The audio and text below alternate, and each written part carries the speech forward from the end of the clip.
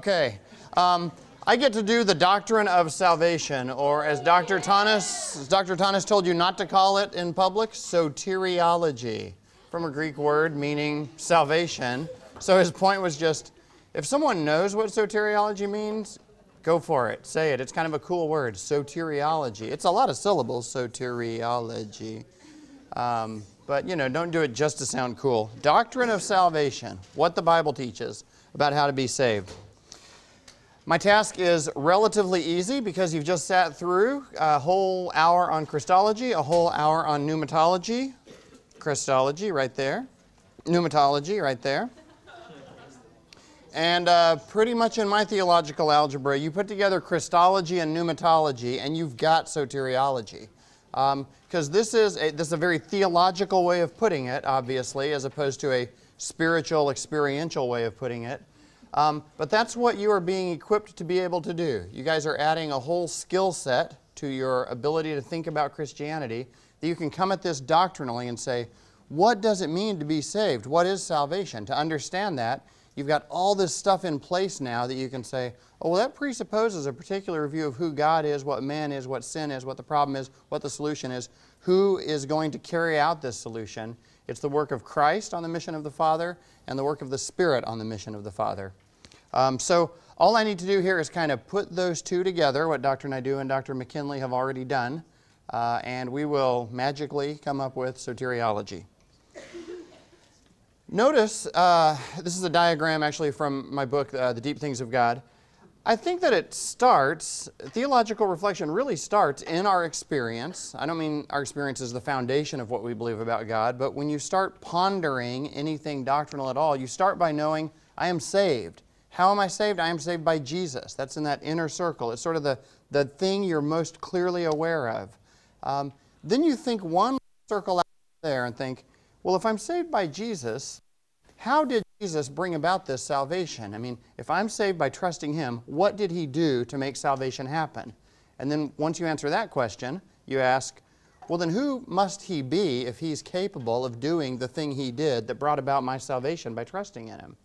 And if your answer, to, if your answer is, He is a competent Savior, therefore He must be somebody very special. In fact, He must be God to bring about what we're calling salvation here then you have to go further out and ask the question, oh, well, then who must God be if what I just said is true? If Jesus is God, what does this mean about who God is? Now, notice that's kind of the, I start here and uh, I throw the little pond of salvation into the ocean of, I don't know what. I, am just trying to go with something here. Um, and the little ripples kind of spread outward, the ripples of thoughtfulness spread out. You get to that. But if you put this in doctrinal categories, what you've got is there's a soteriology, uh, in your experience of salvation, as you come to understand it, there's a doctrine of salvation as it becomes an intelligent, articulate experience of salvation. When you go from there to what must Jesus have done to make salvation possible, you're doing the doctrine of the atonement, that is the work of Christ. You go from there to the doctrine of the person of Christ, that he is God and man in one person. And then you go from there out to the doctrine of the Trinity, that is if I say Jesus is God and I take that seriously, and I don't mean that in some kind of dumbed down heretical version of saying Jesus is God, but I actually really mean it, as we've been taught to mean it here, then the doctrine of God can't be unaffected. I've got to rethink it and say, if Jesus is God, he must always have been God, and God and Jesus must be part of the definition of God. So God must be Father and Son and Spirit. That is, the doctrine of the Trinity is the um, rethinking of the doctrine of God made necessary by the deity of Christ. Yeah? Okay. Now, this is, this is nice in that it gets you out of mere experience into some theological reflection and gives you kind of a framework, but it's still very self centered and even experience centered. Now, partly that's legitimate, but once you've got the lay of the land, theology comes to the rescue and say, you can say, let me draw a better chart. I'm not at the middle of it, God is, and He is a gigantic triangle. Right? Not to scale. If I drew God to scale, you wouldn't be able to see the rest of it, right? So just imagine that's infinite. Um, so there's the Trinity. Then I've got the square there to represent the incarnation, where the second person of the Trinity, without ceasing to be who he was eternally, uh, the second person in fellowship with the Father and the Spirit, added to himself, took to himself a complete human nature and a complete human experience so that you have the incarnation of the Son of God God and man, then brought about the atonement, and then as a, an application of the atonement to my life, that brought about my salvation. Notice that your salvation got smaller and smaller. It didn't really get smaller, it just got put in perspective. Now, partly this is just getting your theology right, but getting your theology right really means coming to know God. And if you think you know God, but you've drawn a map with yourself at the very center of it, something still hasn't happened yet. You haven't kind of done the theological Copernican revolution where you realize God is at the center, God is bigger than me, God is more interesting, God has lots of things going on, and I am saved by coming into orbit of that central theological reality. So, Trinity big, you small, even your experience of salvation small compared to God, right? Big compared to you not experiencing salvation. And this is, I quit making whole sentences there for a minute. Me no make sentences. You, you small, God big. Trying to, I've been, I've been twittering, right? So I'm trying to get this down to, okay. Here's what I want to get. Um, in the doctrine of salvation, I want to make sure we get the size of salvation, the shape of salvation, and then our access to salvation. Um, and we'll do this especially by bringing out the role of Christ in the Spirit every chance we get. Okay, what is salvation? Uh, well, if you ask people what it means to be a Christian, they say something like, well, you know, I'm forgiven. I got my sins forgiven. That's a good answer. You could also say, I am born again. Yes, that is also a good answer. That is from John 3. Where is uh, forgiven from? Is that from a good Bible verse? Mm, Ephesians. Uh, anyway, Galatians 2. Um, we'll move on from there if, that's about as far as you'll get, actually. You'll get Christian, I'm a believer, I'm forgiven, and I'm born again. That's, that's roughly all we've got, right? It's all you kind of commonly hear in our, the way we allow ourselves to talk to each other. Um, but you could say, I am dead to sin and alive to God. That's pretty cool Romans language. Yeah, dead to sin, alive to God. You could say, chosen by God, holy and beloved. That's pretty nice language. Um, you could say blessed with every spiritual blessing. That's getting closer. that's, that's Ephesians 1 3. That's, that's good stuff right there. Um, these are all appropriate ways to talk about salvation. I'm trying to point out that we're not improving on them, but we are coming up with more ways to say it. And that's just a virtue. If you find yourself tongue tied and cliche bound when someone asks you to talk about salvation and you say, you know, not going to hell and stuff, that's a serious problem, right? Being that inarticulate, lacking fluency in the ability to describe salvation is an actual problem. Um, oh, look at these. What are those? Called with a holy calling, joint heirs with Christ, a temple of the Holy Spirit, enriched in everything in Christ. Wow, that's pretty cool. Oh my goodness, what are all these? I, called of Jesus Christ, called as saints, justified as a gift under grace, called into fellowship with His Son, given the ministry of reconciliation. There are a lot of ways to describe this thing I'm trying to talk about doctrinally for the next hour, right? There's a bunch of them. This, uh, they didn't have PowerPoint back when I was a young boy, but um, this really comes from a Bible study I did when I was about 16. Uh, on my, uh, no, when I was 17. Uh, I got a Gideon's Bible, and I thought, Bible? I already have a Bible. What do I want with this Bible? I know. I'll do a special Bible study with it. So I got an orange highlighter and I went through and underlined in the New Testament, uh, highlighted in orange in the New Testament, every reference that I took to be about salvation. Because I did a little self reflection and thought, all I really know how to say is saved, born again, and forgiven. I want to know more ways to say it. I want to talk like the Apostle Paul talks. it's not a bad goal. You try it on and you feel kind of funny talking like that for a while, but that's okay. We all feel kind of funny talking like ourselves, and then we all go to college and reinvent ourselves, and we uh, grow funny mustaches, and we dress weird, right? And, and um, that's okay. We're all just kind of trying to feel authentic, and, and I see some people dressing, kids these days, these styles they wear. Every now and then I see someone dressed a certain way, and I think, who are you disguised as? right?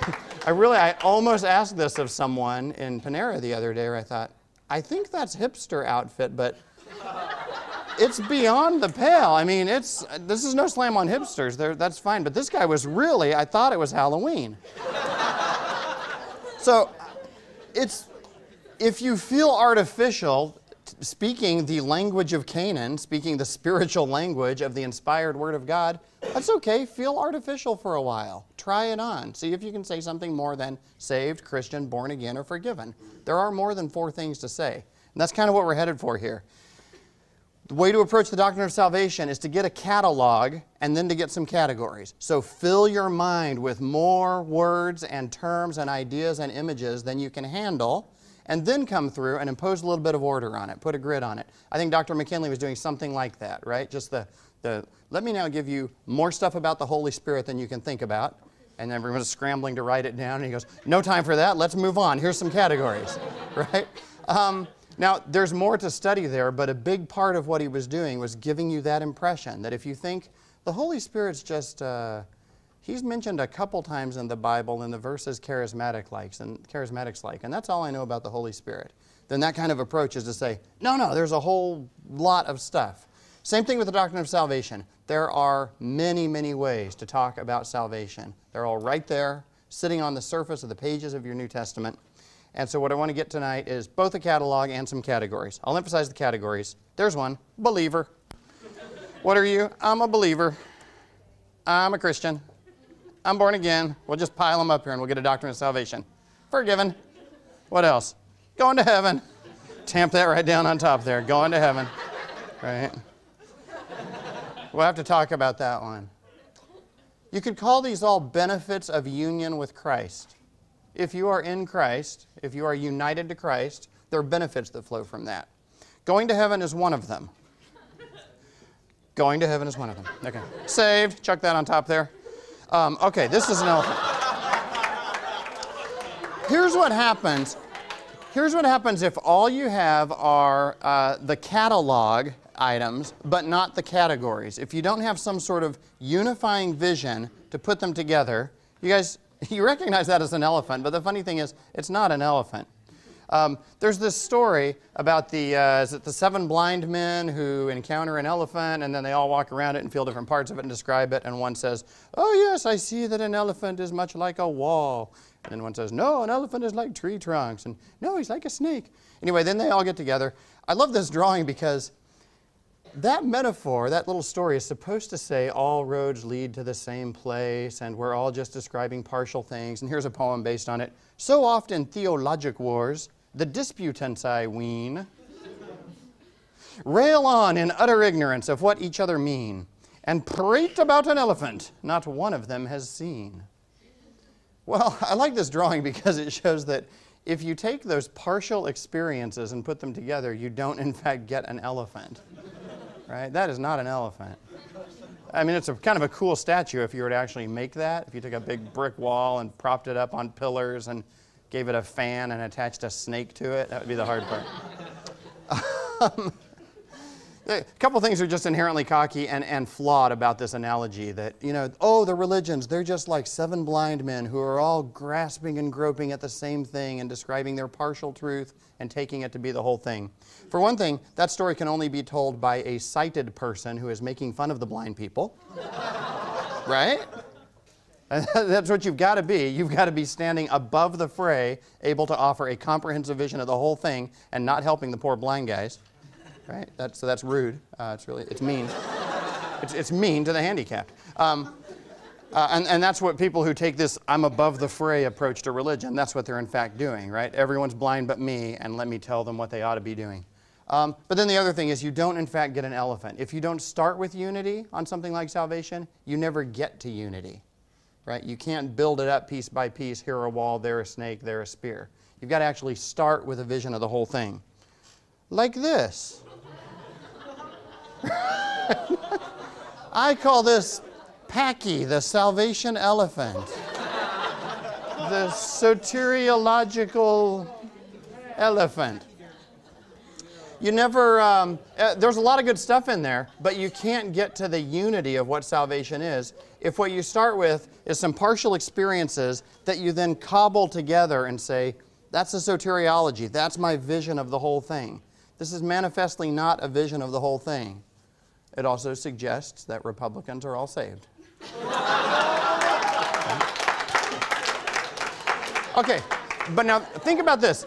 this could just be me as a theology nerd saying, hey, everybody, it's my job to tell you, think big, think big. And that could just be my pet subject. I want to show you the actual spiritual danger you're in if you don't succeed in thinking adequately big, adequately holistically about salvation.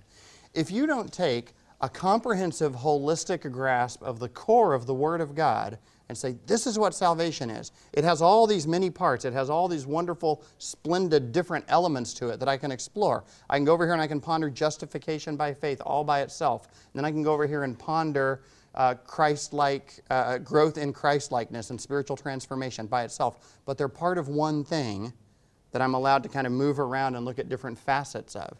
If you're not able to do that, you're left with bits and pieces and parts, and here's what you'll do. You'll go to all this stuff that's in salvation and pick your favorites, right? So, for instance, what if you come to me and say, Here are my three favorite doctrines. There's a lot of cool stuff in salvation, blah, blah, blah. Look at that slide Sanders showed. But here are my three favorites. Once saved, always saved. Man, I believe that. Once saved, always saved. I also believe that perfection on earth is impossible. I mean, we're just totally depraved and will never be delivered from this until death, so you can't stop sinning perfectly. The third thing I know that I know that I know about salvation is that my future sins are already forgiven. Christ isn't going to die again for tomorrow's sins. Christ died once for all, and all my sins are covered. Now, these three things might in fact be true. Um, I, I think that they are all capable of being stated in a certain way that I could sign off on them and say, yes, I do hereby affirm these doctrines. But think about picking these as your three favorite doctrines. Do you know anyone who's got these as their three favorite doctrines? I, I, I knew some people like this. I don't know if they're still walking with Jesus or limping with Jesus or whatever you do if, if this is your doctrine. This is a kind of a, um, uh, nope, I'm not going to say that in an inflammatory way. This is not so much a soteriology as a, a plan for backsliding. Right? In particular, if you come to me and say, Say, theologian, are my future sins forgiven? I'll reply, Gosh, I don't know. What are your plans for the weekend? I mean, we could have a dry theological conversation about the ground that has been uh, laid, the provision that's been made for sins committed in your future. But if you actually want to know and you're excited about the, uh, the pre forgiveness of future sins, that's a problem, especially if it's bundled with an invincible, I can never go to hell because one time when I was nine, I walked the aisle and said some words. Right? That is a bad combination. Look what you're doing when you draw what you want to draw out of the whole bundle of what it is to be saved. You get that? How about the evil opposite of it? Um, those were some sort of jerk Calvinistic Baptists I used to know. I'm, I'm sure they're, I'm sure it's no reflection on Calvinists or Baptists currently. There's just a bad combo of them in the South. Uh, how about this guy? I only know three things about salvation. Yeah, yada, yada, yada. I like the whole slide Sanders showed, but here's what I know faith without works is dead. Number two, without holiness, no one will see the Lord. And the third thing I know that I know is we have free will. Okay. I, these could all three be true. I, I, can imagine a careful statement of each of these three points that I could affirm. but taken together and in isolation from all the other things that are true of our salvation, that's not really a soteriology. That is a carnal self improvement plan. Right? This is like how I'm going to be as good as Jesus without any help from God. Yeah? And how you're in big trouble if you don't match me in the Holiness Olympics. Um, so notice what's going on here. Without a grasp of the whole and a sense of what you are obligated to, so that the person who believes these things is perpetually rendered blessedly uncomfortable by those things and vice versa. So that the whole thing, I almost called it the whole mess, but it's the opposite of a mess. The whole thing with everything in it is there uh, for you to understand. Otherwise, what you're stuck with is heresy, not in the sense of the kinds of heresies we've looked at in Christology, but in the etymological sense. The word heresy comes from the Greek word hairesis, selecting, picking, and choosing. You can set yourself up for a certain kind of heresy, not by denying any Christian truth, but by just picking and choosing your favorites. Because if it's up to you to choose, who's in charge? Not God, not Christ, not the Word of God in Scripture. You are in charge of writing your own theological agenda when you pick and choose from among the many truths. So we've got to get beyond just a catalog to some of the categories, and especially we've got to get to the heart of what salvation is so that you can see how all the tendrils connect. Hearts don't have tendrils, do they? Hearts. They have like. Uh, arteries and Veins. Arteries and veins. Got it. Okay. Um, we must pay close attention. As Hebrews says, we must pay much closer attention to this salvation brought to us in Christ, to what we've heard, lest we drift from it. If the message spoken by angels proved to be valid and binding, how shall we, in the new covenant, escape if we neglect so great a salvation? That's the King James translation. Happy 400th birthday, King James translation. It was first spoken, this salvation was first spoken through the Lord and attested by the hearers to us. And God also bore witness by signs and wonders and various miracles and by gifts of the Holy Spirit distributed according to his will. I want to come back to the idea that we've got to pay attention and not neglect the greatness of this salvation. I put the rest of it in there because the Trinity is hiding in the rest of the verse. Oh, look at that. Spoken through the Lord, God bore witness, gifts of the Holy Spirit. I'm going to make and sell a Trinity study Bible only because I can make money on it. I'm not going to teach other people to draw red triangles in their Bible like I do in mine. I'm going to sell it to them. I'm, a, I'm actually not going to do that, yeah. Johnson House students already have red triangles all over their Bibles. Yeah. well, here's some of the catalog. Blessed, Blessed be the God and Father of our Lord Jesus Christ, who has blessed us in Christ with, in the heavenly places, in Christ, with the full spiritual blessing or every spiritual blessing. If you look at Ephesians 1, verses 3 through 14, you then get Paul goes into catalog mode. So, again, almost as if to overwhelm you. Um, that God chose us before the foundation of the world to be holy and blameless, destined us, predestined us for adoption as sons, freely bestowed glorious grace on us, redeemed us through his blood, forgiving our sins, made known the mystery of his will. God is enacting his plan to bring all things under the headship of Christ and sealed us with the spirit of promise. I say etc. there, not to say yada, yada, yada, but to say there's more than you can fit on one tasteful PowerPoint slide in Ephesians 1 3 through 14. It's the catalog move again, right? Now we're going to get to the categories. Categories go under this heading we call an ordo salutis, another phrase you don't want to uh, impose on people. It's Latin for order of salvation.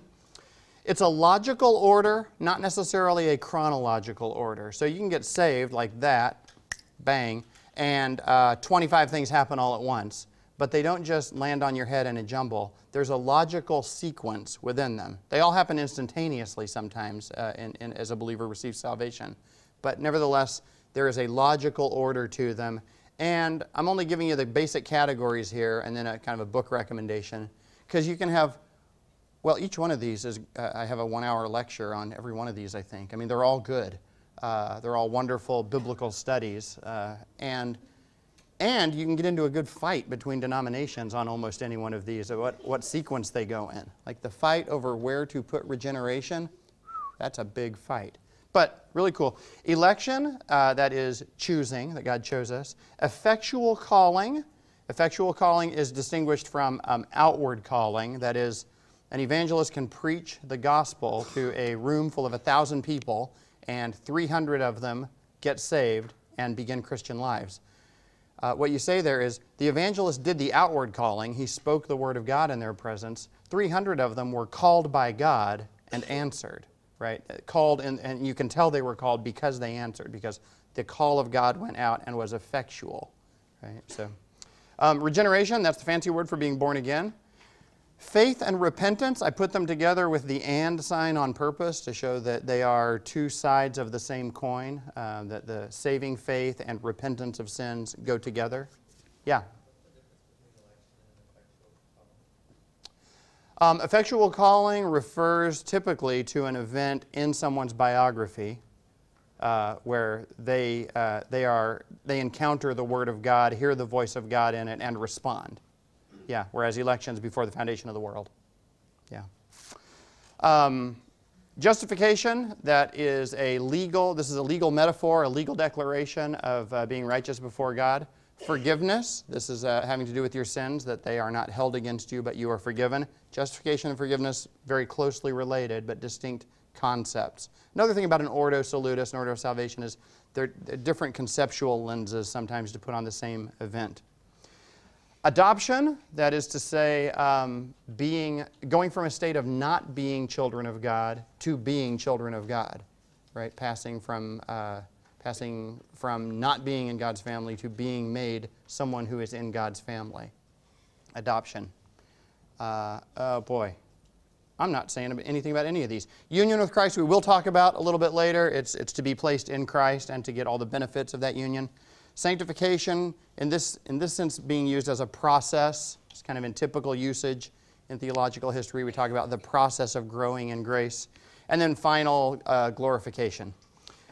All these kind of go together. Lots of good books on these. Pick up any systematic theology, and it'll have to take a position on where things go. One book recommendation Sinclair Ferguson's book, The Christian Life A Doctrinal Introduction. Yeah. This is a general one where I'm trying to get all the terms up there. Yeah.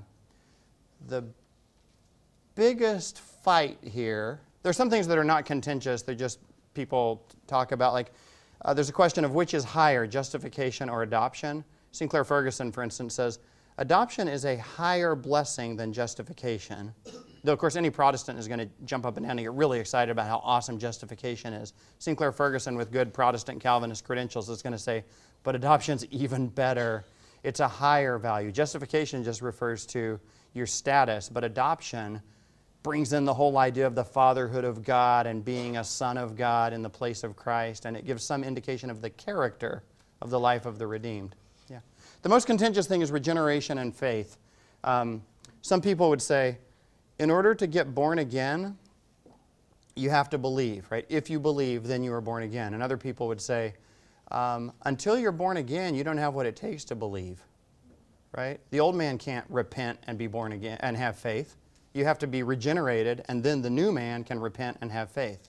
In that case, looking at regeneration that way, it would be an invisible thing that happens inside. So, like the guy who hears the gospel at a Billy Graham crusade, on that view, God would reach in and sovereignly regenerate him.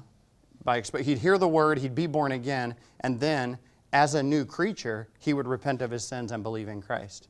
So the regeneration would be invisible. The other approach would be to say, he hears the gospel, he has faith in it, and then, by the power of God sovereignly, he is born again after having faith. But you see the, you see the fight there, right? And both sides want to affirm the same kind of things. God's, uh, God's initiative and power in it, but the truth of the human response.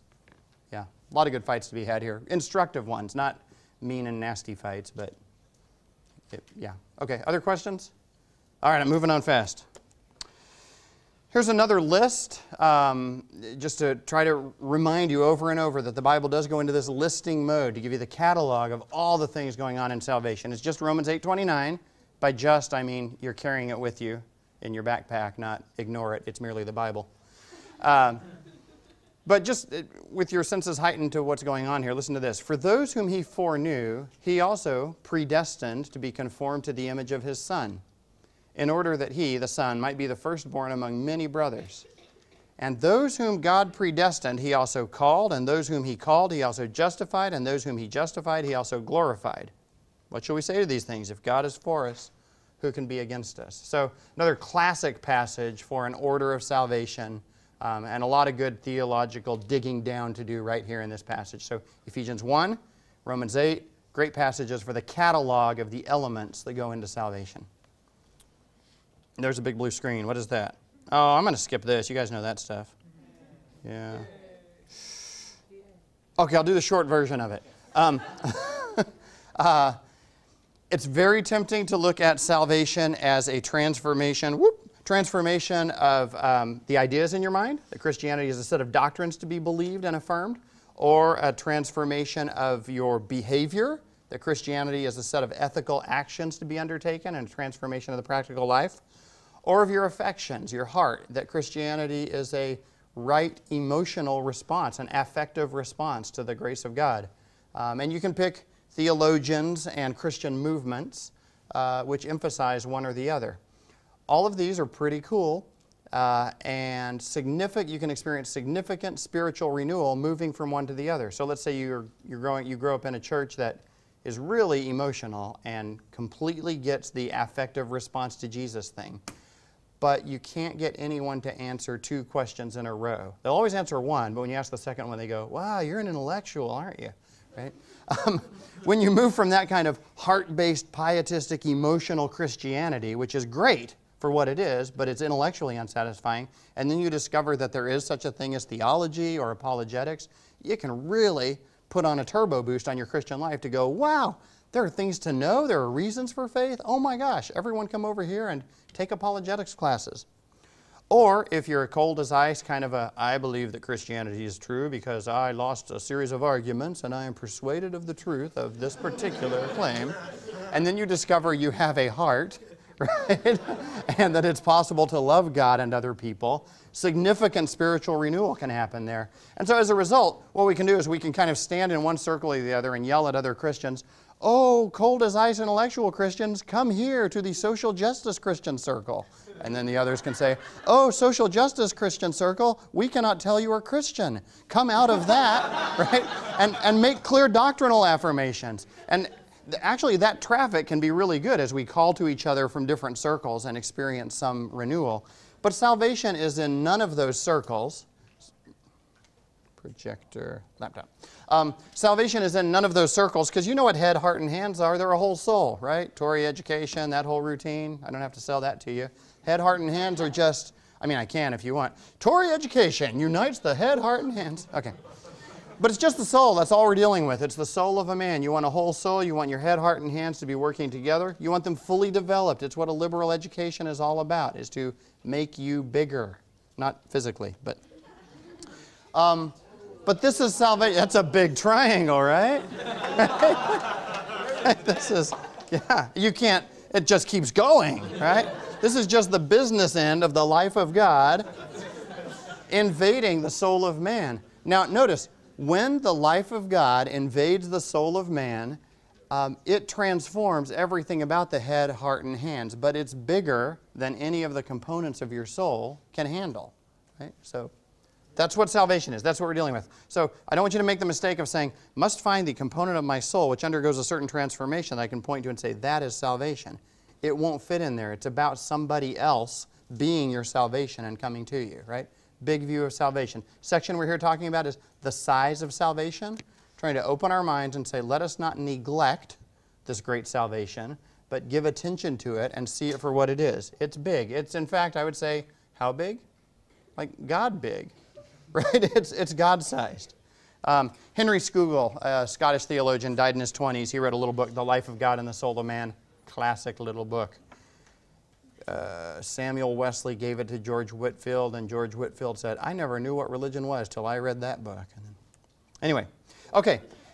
Big category we have to get to. Um, I think this is a bigger category than all of the other things I showed you on the list. It's the doctrine of grace. Um, there are two basic ideas we have of grace when we, when we hear the word and think about it. One is God being nice or cutting us slack or forgiving us. Um, uh, so, amazing grace, we tend to think um, this, this is the doctrine of God excusing us, unmerited favor, like we don't deserve it, but God excuses or forgives us. Another idea we have of grace, you get this elaborately developed in someone like Thomas Aquinas, is that it's God empowering us. So, uh, boy, I don't think I can do that, but by the grace of God, I can do it. Right? I don't mean if God forgives me, I can do it. I mean, if God gives me the power to do it, then by His grace, I'll be able to do it. I think those are good, but partial.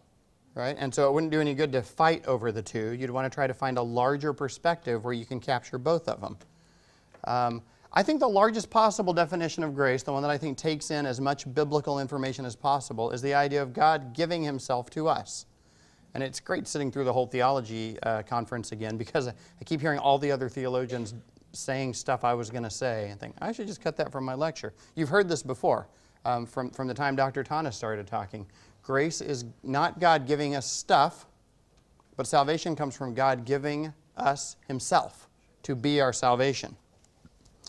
This Tom Oden is a, a Methodist theologian who gives this largish definition of grace. Grace is an overarching term for all of God's gifts to humanity, all the blessings of salvation, all events through which are manifested God's own self giving. Grace is a divine attribute revealing the heart of the one God, the heart of the one God, the premise of all spiritual blessing. Okay, that's Tom Oden. He's a great Methodist theologian. I was about to say the greatest living Methodist theologian. Yeah, that, that's probably true. He's a swell guy. Um, and, and we could spend a lot of time unpacking this definition, but um, you see, you see that what he's going for over and over in it is that grace is the overarching term and the condition of all spiritual blessing, Ephesians 1 3 language. Let me show you what I mean by that. Even back in the Old Testament, what you've got is uh, the idea that the gospel, the good news of God bringing deliverance, is God giving himself to us for our salvation. The Old Testament way of saying that was, The Lord my God is my strength and my song, and he has become my salvation. This is the psalmist way of talking. This is an Old Testament, before the New Covenant way of talking. Not God has made my salvation, not the Lord my God has sent somebody to bring about my salvation, but that He Himself, Yahweh, the Lord Himself in person, is my salvation, has become my salvation.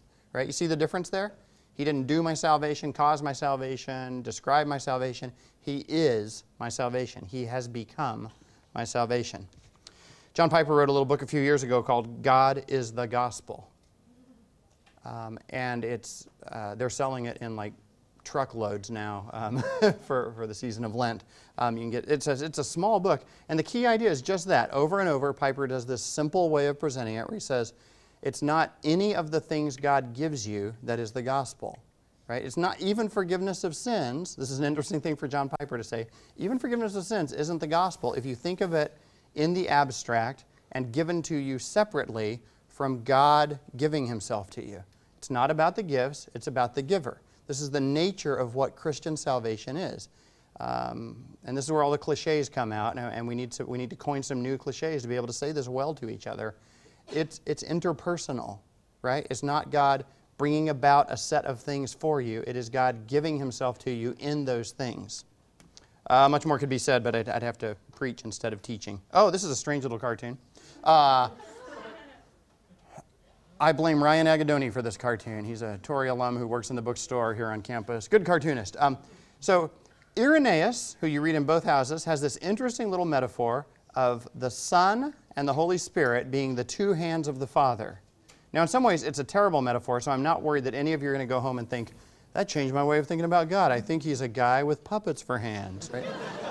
it's actually, it's such a bad image, there's no way you'll go wrong with it, because you'll always snap right out of it. But what Irenaeus is trying to get at with this image is um, everything God does, he does through the Son and the Spirit. So God the Father is always at work through the Son and the Spirit. And if you say, well, God didn't really show up, he just sent the Son and the Spirit, Irenaeus would say, what are those like remote control says, No, they're the very hands of the Father. So the Father has a hold of you through the Son and the Spirit.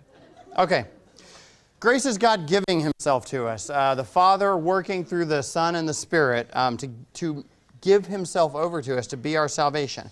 Question How does God give Himself to us? This is where you've got to think very particular. I started with a bunch of words.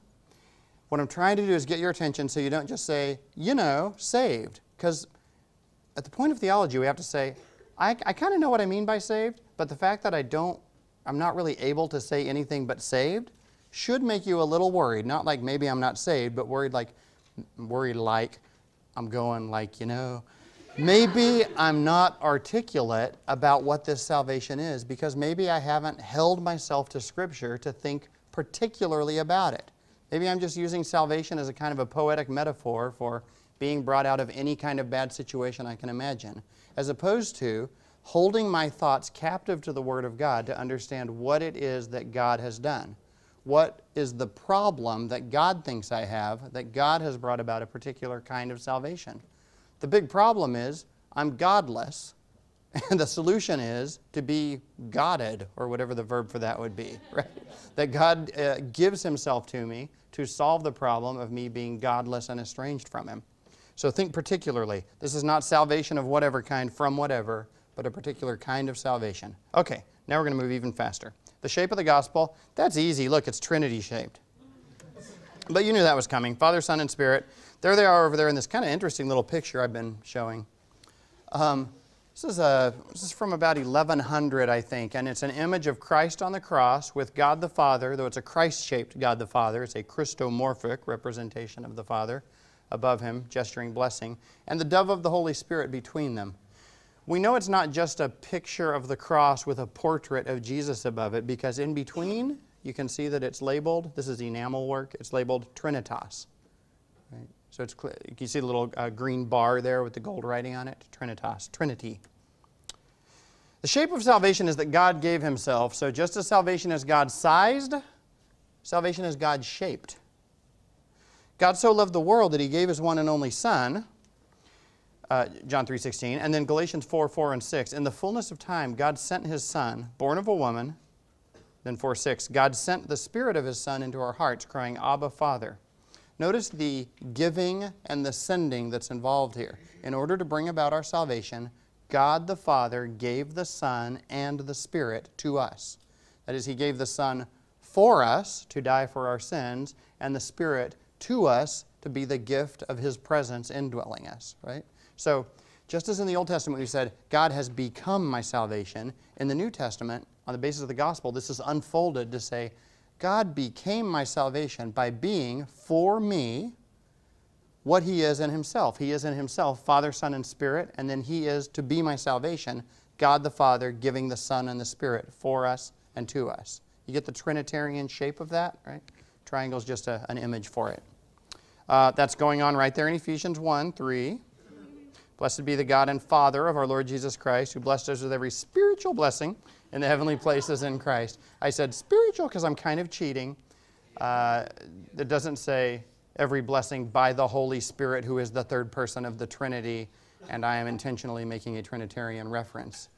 Um, I think that's the Holy Spirit right there. It's a spiritual blessing. Uh, I could I could show you big fat commentaries that agree with me, but I don't need it. We can just move on. Um, so, salvation comes about when the Father sends the Son and the Spirit. Now, think salvation history. Here's how this works out. Did the incarnation happen to make Pentecost possible? One broad view of scriptural history is this God the Father is sitting in heaven saying, You know what needs to happen? My Spirit needs to dwell in the hearts of men.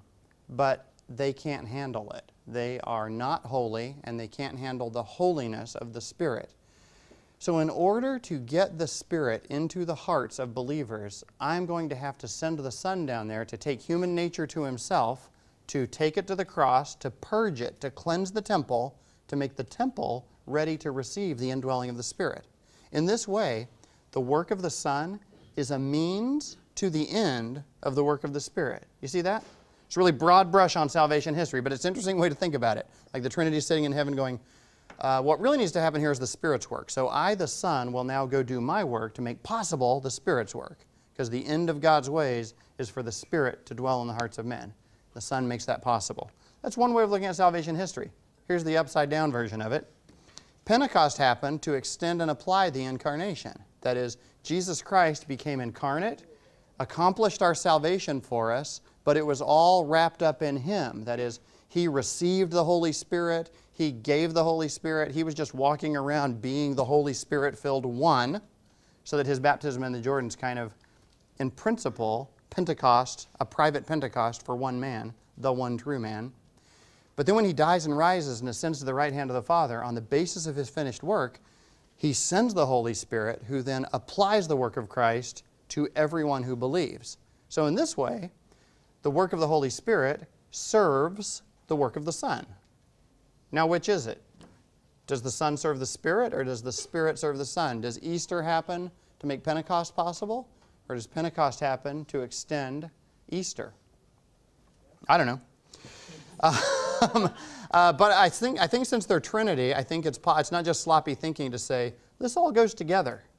I actually think that they are ordered to each other as means to each other's ends because they are one with a unity greater than we can even imagine among created things because of the transcendent unity of Son and Spirit in the fellowship of the Father, the Son and the Spirit have works that are ordered towards each other's good. Right? Gospel of salvation is we're caught up in that. Right? That as the Son and the Spirit have this perfect sharing back and forth in the history of salvation, if we get placed in that, then we have the Son working for the Spirit with us in the middle, and the Spirit working for the Son with us in the middle, all on the mission and under the headship of the Father. Here's what you want to do then. Uh, if this feels like we're way back from salvation, there's a reason. Remember, soteriology comes from adding the work of the Son to the work of the Spirit. Christology plus, plus pneumatology equals soteriology. So I got two columns here. One is a vocabulary that's appropriate to use for the person and work of the Son. Think back two hours to Dr. Naidu's lecture. The other column is the vocabulary relevant and appropriate for talking about the work of the Spirit. Think about the last hour with Dr. McKinley. So what do we say about the Son? He becomes incarnate. Spirit doesn't do that. He takes, uh, he exercises hypostatic union. That's the big fancy word. You'll get it in what Cyril of Alexandria, probably, maybe a little bit in Gregory Nazianzus. Um, that is to say, in his one person or hypostasis, he unites two natures, divine and human. The Holy Spirit doesn't do that. Let me just contrast them and jump across the columns. The Son becomes incarnate. He becomes flesh. He takes, he, he becomes a particular individual human man among us. The Spirit doesn't do that. The Spirit doesn't take on a body. The Spirit dwells within us. So incarnation is Son work, indwelling is Spirit work. Hypostatic union distinguished from inspiration. The Son assumes a human nature. The Spirit enlivens a human person. Right? You get the distinction there? That the, the nature of Jesus of Nazareth, the man, is assumed into union with the eternal Logos. But the Holy Spirit doesn't come and become a particular person. He indwells and it brings to life lots and lots of individual persons without taking their place. And that's the thing. What the Son does is He replaces you, He substitutes for you. He bears your sins and He presents Himself to the Father as a substitute in your place. The Spirit doesn't substitute, the Spirit connects and relates. That's why uh, Dr. McKinley used the sort of bizarre metaphor of the coach, right? It's because Jesus comes in and says, Get out of the game, I'm taking over, and plays the game for you and wins. The Holy Spirit does not take you out of the game, but gets into the game that you're playing and empowers you and moves you along to do it. We need both. We're that messed up, right? You actually need Jesus to come in and say, You can't handle this. Step aside. I'm doing it. And then, in a relevant place, subordinate to that, the Spirit comes along and says, You need to do this uh, not by yourself, but you need to be the one doing it. And so I am going to empower you to do it. It's two totally different modes. You could be thinking of your Christian life and say something like, Jesus needs to do both of those things for me. But this is a place where I want to say, don't be so Jesus centered that you ignore the Holy Spirit. Right? There's a semi, it's not blasphemous, there's an irreverent article at theonion.com a website I cannot endorse nor recommend to the young people. Um, there's an irreverent article there that said, uh, Holy Spirit quietly being phased out of the Trinity. Right? And then it, so that was the headline. And then the copy said, um, it's really a reassigning of tasks because his job description was never quite clear anyway. Right? I mean, every, everything that people gave him to do, the son was already taking care of. So we're just phasing him out and we'll be the Binity next year. So that's sad and irreverent. Um, but think about it.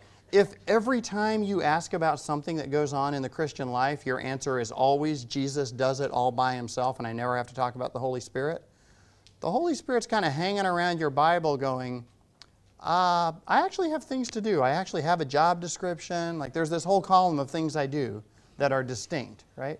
You actually don't want the Son working for your sanctification in the same way the Spirit does. Because what is Jesus' characteristic move? Get out of there. You can't handle it. Let me do it for you. Right? The Spirit's the one who can empower you to do the things. And they're not, they're not competing with each other.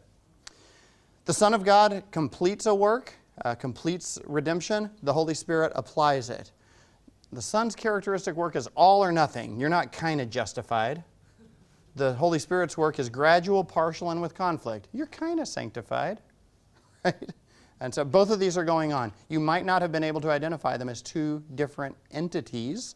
Uh, entities is a bad word. I'll just have to stick with persons. You might not have been able to identify them as two distinct persons uh, of the one God at work in your life. Why? Uh, I don't think you can distinguish the Son and the Spirit based on subjective feelings. Like when you get that whoa feeling like God's in the room, I don't think it comes with a whoa, that was the Son of God, or whoa, that was the Holy Spirit of God. Right? I, despite Pentecostal and charismatic friends who swear they can tell the difference by a certain flutter in the diaphragm, I actually don't think you can tell the difference. I think the divine presence is just registered with us in that way, but not in such a way that you can do detailed Trinitarian theology on the basis of the powerful emotional spiritual response that you have. I think it takes Bible study in order to say the, the one who is present in the church today is either the Son or the Spirit or both on the common mission Uh, but it takes, like, this is Bible study. This is not about, I felt that slightly up and to the right in my spiritual sensor, right? That's not how that works. Okay. So, um, what's going on with the Son and the Spirit is this two handed salvation. I can't, I was going to do like some choreography for this, but I can't really. Um, there are some theologians who talk about the two missions. Oh, we could, we could get something going. We could do orientation this way, right? Uh, it's probably too late now. There's some theologians who talk about it as the two missions, the mission of the Son and the mission of the Spirit. You could also call it one twofold mission, right? That what the Father sends, missions, is the Son and the Spirit together in distinct but coordinated ways. So that even the incarnation, only the Son becomes incarnate. But how does the Son become incarnate? He is conceived by the Holy Spirit. He is empowered by the Holy Spirit. He is the Christ, the anointed one with the Holy Spirit. So that even when you're looking at Jesus, you're seeing the person of the Son wrapped up in the person of the Spirit, right? Not that the Spirit became incarnate, but the Spirit was not absent from the incarnation. That's not too subtle, is it? It's like this. Okay. Um, I got to move on here. One more thing, uh, one more Trinitarian way to view salvation to get the big picture. Can you tell I'm using the Trinity as the key to the doctrine of salvation? Is that pretty evident, right? If we want is a big picture of salvation that is holistic, so we're not picking and choosing, the answer is to get the Trinitarian view of salvation because it all comes in one God sized package deal. Yeah? Here's how salvation happens, right? There's the uh, eternal Son becomes the incarnate Son. That's you. Woo! when you get in that line, you're saved. Who puts you there? The Spirit. The Spirit of adoption places you into the relationship of sonship. Sonship has been in heaven all this time in the eternal being of God. In the incarnation, sonship goes from being eternal sonship to also being incarnate sonship, which makes possible adoptive sonship. I apologize to the ladies in the room. You also are sons of God. Why does that matter? I could do the inclusive translation and say son, and daughter of God. And, and this is the contact you've got to get, right? Jesus was the Son of God which made it possible for me to be a son of God. It's really valuable, I think, for women to stick to that son language and make the little adjustment. You know that, what, what hymn did we start with? Be Thou My Vision. I sang this a few weeks ago beside a, a woman who sang, um, Thy my true father, I thy dear daughter, which didn't rhyme. Um, and my first thought was, that's kind of sweet. She's personalizing it. I like that. My second thought was, Mmm, doesn't rhyme. Uh, my third, my third thought was, I hope she he- I hope she knows that she is a son of God in the Son of God. Right? I hope that doing the daughter thing to extend it to herself and personalize it and own it, which is good, didn't make her miss out on the fact that we're all sons in the Son. Right? So don't miss that. Um, just like uh, I'm, I'm, a pretty manly guy, but I have to be the bride of Christ. That's awkward, right? So it's it's awkward for all of us, but I'm not going to let go of the bride metaphor just because it doesn't seem to speak to me as a man. I want to be the husband of Christ. Right? right? You see how it would cut against the logic of the biblical metaphor?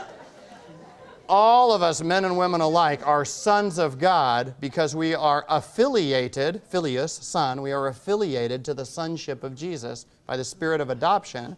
The Greek word is son making right? Adoption is kind of a gender neutral word that's appropriate in our language. All right, that was a little too much. Um, four and a half minutes. Here's what we're going to do. That's Jesus getting baptized. John the Baptist pointing to him. I don't know why. There's the saving life of Christ. It's just stick figures. You've seen it before. All this stuff's going on. Jesus is born, he's baptized, he lives, dies, rises again, and ascends to the right hand of God. Yeah? That was it. All right. Here's what you got. This is in Calvin. Calvin 216. Institutes, Institutes 216. John Calvin looks at that life of Jesus and says, that's where salvation is. It's all right there in Christ. And if you're in Christ, you've got salvation. Here's how he says it. Our whole salvation and all its parts are comprehended in Christ. If we seek any gifts of the Spirit, they will be found in His anointing, His Christing, His, His anointing. If we seek strength, it's in his dominion. Dominion, dominus, it's Latin for Lord, right? Our strength is in his lordship. If purity, it's in his conception, conceived by the Holy Spirit. If gentleness, in his birth, born of the Virgin Mary. Notice that this is the Apostles' Creed, right? um, Christ the Lord, conceived, born. If we seek redemption, it lies in his passion. If acquittal, in his condemnation. If we seek remission of the curse, it's in his cross. If satisfaction, in his sacrifice. If purification, in his blood. If reconciliation, in his descent into hell. If mortification of the flesh, in his tomb. If newness of life, in his resurrection. If immortality, in the same, his resurrection. Notice this is the standard move. Salvation is in the life of Christ. You need to be placed into it. That's where all the benefits come from. Notice also what's going on here is that list, the catalog, it's coming along again, but it's all centered in union with Christ. All right, oh, I can skip this because McKinley did it. Woo, look at that oil. Whoa. That's cool. Oh, there's you getting saved. Whoa, I'm saved. Whoa, right there. 1 Corinthians 1.30, by God's doing, you're in Christ. Uh, King James Version says, of him are you in Christ, right? By God's doing, you're in Christ who became for us, here comes the catalog, wisdom from God and righteousness and sanctification and redemption. All right, I'm going to skip that. I got one more thing to do here. Oh, man. Woo. No, no, it's all, it's all good, but here. Last thing, no, is that what I'm going to do? Yeah. Last thing I'm going to do. When is salvation? Because once you've got the catalog, once you've got the categories, once you've got the Trinitarian framework that keeps you from heretically picking and choosing your favorite bits and pieces from salvation, once you've thought that big about it, it starts to give you some weird optical illusions. Like, when was I saved? Was I saved? Uh, one guy used to give his testimony. I was saved uh, 2,000 years ago, a little bit outside of Jerusalem. No, no, I get what you're saying. That's very cute. That's when we were all saved, right? But I wanted a story from your biography, not the tale of salvation history. Um, so there is a sense in which we were saved. You know the old song, Were you there when they crucified my Lord? When I was a kid, I would always say, No. It doesn't make any sense at all. There's got to be some spiritual sense in which I had to be there in Christ um, because that's where salvation is. It really was 2,000 years ago, a little bit outside of Jerusalem.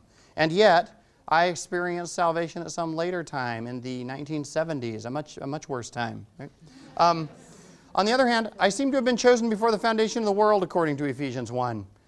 On the other hand, I, salvation seems to be a pass card that I'm going to keep a hold of until Judgment Day because when Judgment Day comes down and everyone's in big trouble, I get to show the pass card and go, I get out of Judgment Day free, right? right? So saved seems to mean partly a down payment on Judgment Day will go right for me. Since I know that, I experience salvation now ahead of time.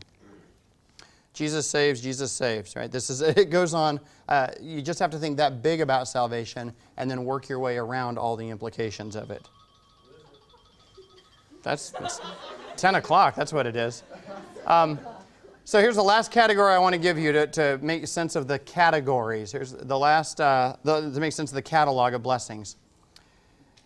Our salvation, that it happened long ago, accomplished in Christ, and it takes place in our biographies here and now, with the Holy Spirit applying redemption, it's again part of this large Trinitarian structure, which is to say, the Father put all the blessings of salvation in Jesus Christ, in his life, death, and resurrection. The Holy Spirit brings them to us and makes them available to us now, so, so that the redemption accomplished in Christ back then by the Son is applied fully to us now by the Holy Spirit. That's how the whole package goes together. Biola University offers a variety of biblically centered degree programs, ranging from business to ministry to the arts and sciences. Visit biola.edu to find out how Biola could make a difference in your life.